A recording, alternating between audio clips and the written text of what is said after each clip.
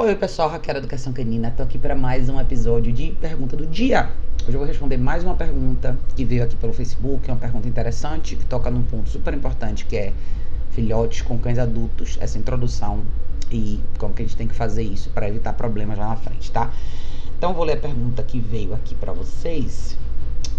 A pergunta foi do Alessandro. Alessandro disse o seguinte: é, Boa tarde, minha família é composta por eu, Alessandro, minha esposa Patrícia e, nós, e nossa filha Melissa, de 6 anos onde temos uma fêmea da raça Cocker de 9 anos, é a Mel, que convive conosco dentro do nosso lar como membro da família.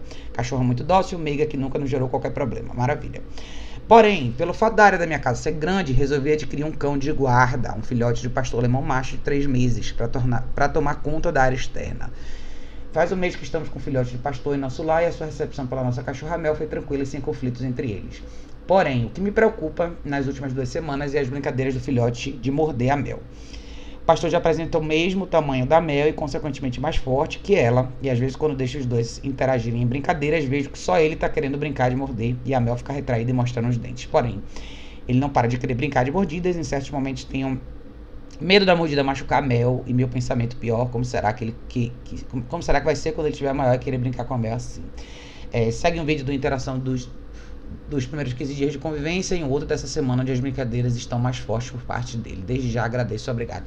Alessandro tinha mandado aqui os dois videozinhos, esse eu não sei se dá pra gente ver aqui é o vídeo logo de quando ele chegou. Essa é a cachorra de 9 anos, esse é o filhote, tá? E aqui é o vídeo mais recente, tá?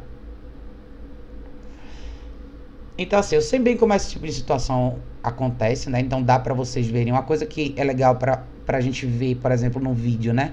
A brincadeira de mordida. É, eu gosto sempre de deixar isso claro para as pessoas, né? Isso acontece numa fase quando os cães são jovens.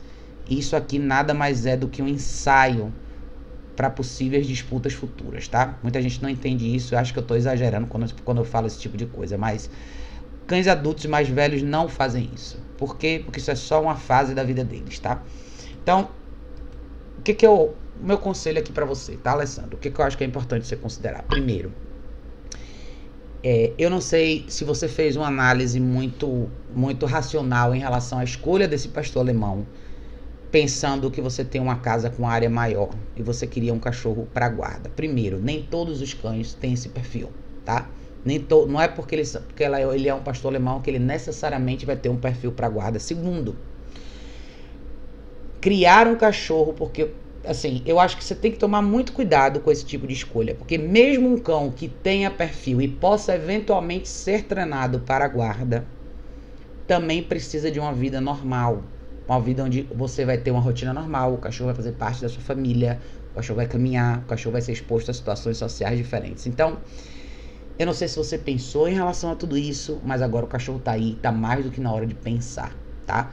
Esse tipo de interação é o tipo da coisa que pode dar errado e pode dar errado muito rápido. Eu escrevi já extensamente sobre isso no meu site, no blog, no site da Educação Canina, no meu site do Indog. Por que, que eu não gosto de permitir esse tipo de interação com filhotes e cães mais velhos, tá? Esse é um ensaio que lá na frente vai ser uma disputa e a sua cachorra mais velha vai sair perdendo e vai sair perdendo rápido, tá? Ah, eu não quero que o seu pastor alemão tenha o hábito de interagir dessa forma com seu cão mais velho ou com nenhum outro cachorro. Lembre, esse cachorro vai fazer parte da sua família. Você tem uma criança pequena em casa, você tem uma família, você vai precisar caminhar com esse cachorro quando você todos os dias. Okay? Primeiro, a ideia do seu cão ser de guarda, eu, eu tô levando isso em consideração porque eu acho isso um assunto sério. Eu acho que as pessoas acabam não pensando muito bem nas possíveis consequências. Primeiro, ele pode não ter um perfil para um cão de guarda. Segundo, se ele tiver o perfil, quem vai treinar esse cão para guarda? Os cachorros não fazem guarda simplesmente porque eles estão lá fora, tá? Tem vários cachorros que não têm esse perfil e tem vários cachorros que não sabem o que fazer se existir uma possível ameaça.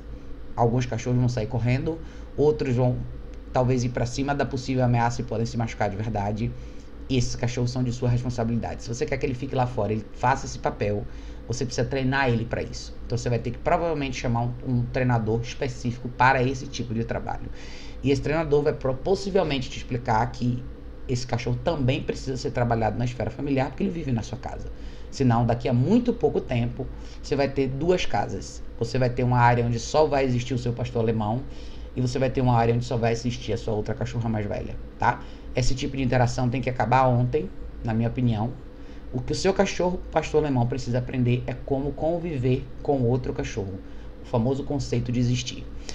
Talvez você esteja numa situação onde muita gente cai muitas vezes, que é você tem uma cachorra de 9 anos que nunca te deu problema nenhum, que foi uma cachorra maravilhosa a vida inteira. E eu sei qual é essa sensação.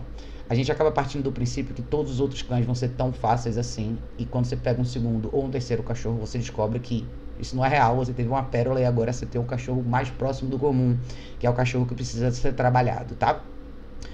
Perguntas onde esse, como é que está sendo a, a, rotina desse filhote. O que, que você já fez com ele no sentido de aprendizado. Então não parta do princípio que porque você não teve que fazer muito trabalho com a sua cachorra de 9 anos, que com esse pastor você vai ter que fazer igual e não vai, tá? Pastor alemão com, com, com um cachorro com bastante gás, tem muita energia, é um cachorro feito para morder. Se você não trabalhar bem ele amanhã, você não vai conseguir lidar com ele. Ele vai crescer muito rápido. Com seis meses, esse cachorro vai ter a capacidade de te arrastar na rua, tá? Então tá mais do que na hora de você começar um treinamento. Vou ser bem franca com você. O melhor conselho para você é chame um profissional e trabalhe presencialmente com esse cachorro. Alguém que vá na sua casa e comece a treinar esse cachorro ontem. Você vai ter que ter uma área reservada para ele na sua casa. Não sei se você já construiu, mas você vai ter que possivelmente construir um canil para ele. Não espere criar esse cachorro solto o resto da vida, você vai ter problemas graves se você fizer isso, tá? Você vai ter que separar a sua dinâmica de a interação dos seus dois cachorros não tem que acontecer desse jeito. Ela tem que acontecer com seu filhote na guia, sua cachorra na guia, cada um sentado do seu lado, aprendendo a existir. Eu não quero, de novo, eu não quero que essa área externa da sua casa, tá?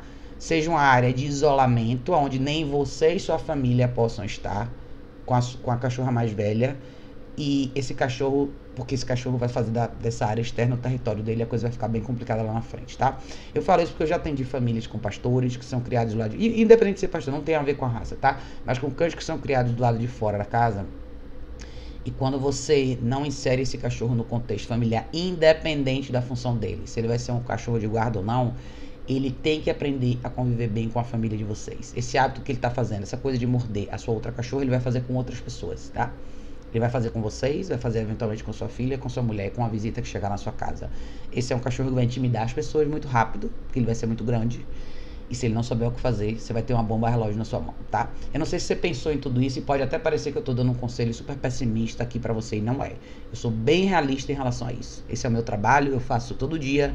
Eu atendo pessoas o tempo inteiro e muitas vezes a gente entra para apagar incêndio. E eu não quero que a sua situação se torne um incêndio. Talvez você tenha tomado uma decisão meio ingênua de pegar esse cachorro partindo do princípio que seria um elemento de segurança para sua casa. Pode até ser, mas isso não vai acontecer naturalmente. Seu cachorro não vai se transformar nesse cachorro que vai saber proteger sua casa e ao mesmo tempo vai ser super dócil com você sem você ter que fazer nada. Não. Isso envolve treinamento, isso envolve uma dedicação muito, muito, assim, uma dedicação de verdade, muito forte, principalmente nos primeiros seis, sete meses da vida desse cachorro, tá? Ele já tá com três meses, ele já está numa fase excelente para começar a aprender. O que, que eu faria no seu lugar? Objetivamente falando, separe esses dois cachorros, tá? Só tem eles dois no mesmo ambiente quando cada um dos dois estiver na guia. Eu quero, que esse, eu quero um cachorro tolerante, paciente, que saiba esperar, que saiba observar e não seja invasivo com ninguém. Nem criança, nem com seu outro cachorro, nem com sua mulher, nem com nenhuma visita. Chame o profissional para trabalhar com ele amanhã, tá? Estou falando super sério, comece cedo, não deixe o tempo passar, porque você pode, você vai ter um, um talvez um choque de realidade para entender exatamente o que tem na sua mão. Você tem um cachorro forte que vai precisar de alguém, de alguém presente, forte para dizer o que ele tem que fazer ao longo da vida, tá? E esse cachorro vai precisar de uma rotina. Do mesmo jeito que a sua cachorra provavelmente tem, eu não sei se ela tem, mas mesmo que ela seja essa pérola de exceção, cachorro grande ou qualquer cachorro precisa de uma rotina. Você vai precisar sair com esse cachorro todo dia, você vai precisar lidar com as distrações do seu bairro, você vai precisar expor esse cachorro a situações diferentes. E ele, esse cachorro e cães de guarda, tem que aprender com muita clareza a diferença entre o que é uma ameaça e o que é uma situação social. É isso que faz. Eu não treino cão de guarda, tá? Mas é isso que faz um cachorro de guarda é, se destacar. É a habilidade que ele tem de ser um cão de família, de viver bem com pessoas, de estar bem em situações sociais e ao mesmo tempo saber identificar o que é uma ameaça, tá? Um cachorro que vê tudo como ameaça não é um cão de guarda. É um cachorro com problema. E é um cachorro que ninguém quer. E é um cachorro que amanhã vai pagar o preço, tá? Então, preste bastante atenção nisso. Eu fiz questão de fazer esse vídeo porque eu sei que muita gente cai nessa armadilha. E quando eu falo de armadilha é tudo deu certo, eu tive um cachorro durante nove anos, tudo foi maravilhoso. Ah, minha casa é grande, vou pegar um outro cachorro vou, ter, vou colocar lá fora. Não é tão simples assim. Não é. Eu sei que tem muita gente que faz isso, mas isso não significa que o cachorro tenha o melhor resultado. Não tem. Muitos desses cachorros passam boa parte da vida isolados. E eu não quero isso para ele. E não quero isso para você. E eu não quero que você perca a oportunidade. Porque pastor alemão são cães maravilhosos. Eles podem ser excelentes cães de família mas eles com certeza precisam de líderes muito fortes, pessoas muito aptas a lidar com eles. E o tempo vai passar bem rápido para você, tá? É, da, como eu falei, daqui a três meses esse cachorro vai estar tá muito grande. E você tem criança em casa, você tem um cachorro pequeno em casa. A última coisa que eu quero ver é um acidente aí, tá? Então não espere, eu não sei se você tá aqui em São Paulo ou não. Chame ajuda profissional, tá? Você vai ter que investir aí para trabalhar com esse cachorro, para você ter o cachorro que você realmente quer. Não vai sair da noite pro dia não vai ser simples. Assim, você vai ter que pôr um investimento considerável aí. Eu tô realmente chamando a atenção sua e de todo mundo que cai nessa situação, porque parece ser fácil, parece ser tudo muito simples, mas não é. É mais um investimento do nosso tempo, da nossa energia, da nossa vontade de dar certo do que qualquer outra coisa, tá bom? Então, não é um puxão de orelha, é uma, é uma, é uma atenção, de verdade. Porque esses casos se repetem o tempo inteiro e eu sei onde é que eles param. Então, preste bastante atenção, chame ajuda profissional, tá? Se precisar de ajuda, entre em contato comigo. Vai ser um prazer poder te ajudar. Mas leve a sério o que eu falei por aqui, tá? De verdade, de coração. Mas é isso, gente. Se vocês tiverem dúvida, deixe aqui nos comentários desse vídeo. Como sempre, vai ser um prazer responder para todos vocês, tá bom, pessoal? Beijo enorme. A gente se vê em breve no próximo vídeo.